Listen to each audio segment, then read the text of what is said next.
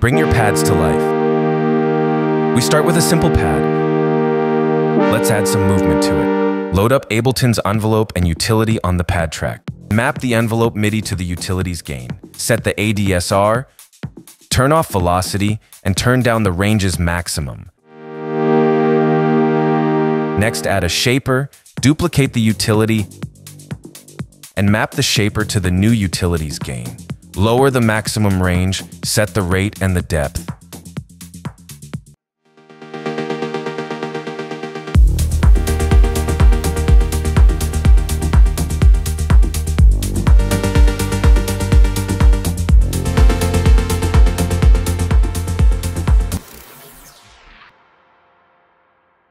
Quick sample trick for hi-hats. Add a hat sample to an empty MIDI track. Activate the slice, trigger, and manual modes. Place three markers for a total of four chops. Select a bar on the track and insert a MIDI clip. Make a pattern. Each note triggers one chop. Change the velocity of each to emphasize the rhythm and duplicate the notes. Next, add an LFO. Map it to the simpler's fade-in and reduce the LFO top range. Add a high pass EQ and a compressor. Sidechain to the kick, lower the threshold, and activate peak mode. Played in context, the hi-hat feels more human.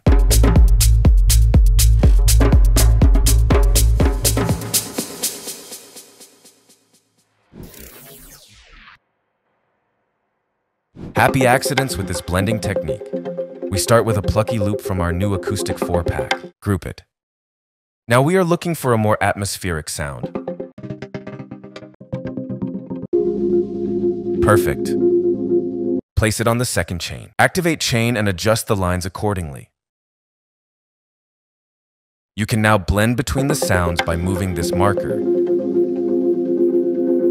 Next, we automate this with a LFO. Map the LFO to the marker of the chain. Dial in the rate to your taste and adjust the depth. Great starting point for happy accidents.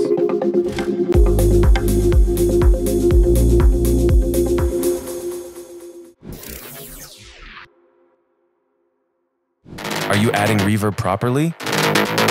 This is our dry sound. This is with improper washed out reverb. Let's fix this and create space for the sharp stab transients. We're gonna group the reverb, then create dry and wet chains. Make sure the reverb is 100% wet. Next, we're adding a heavy side chain to duck the reverb when the sharp stabs need to cut through. Dial in the reverb's volume to suit the track.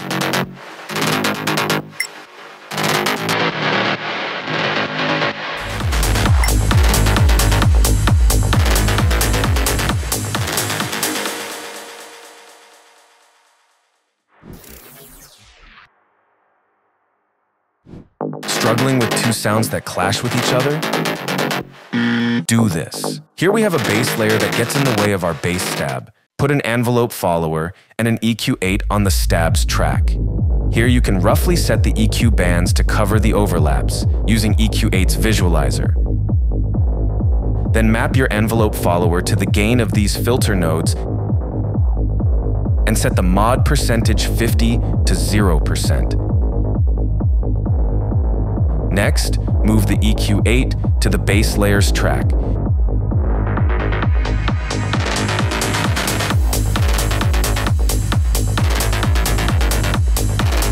You can dial in the attenuation with the envelope follower's gain knob.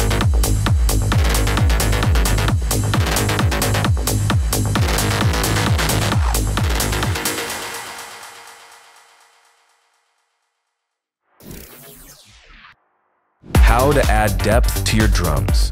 Creating depth in your songs is all about smart layering. Here we add a stunning dimension to our hi-hats.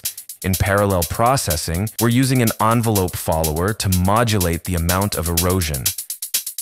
After cutting all the low frequencies, we send the signal through reverbs. Lastly, we use a gate to tighten up the effect and control the groove. This is our original sound. Here is the effect. And the two together.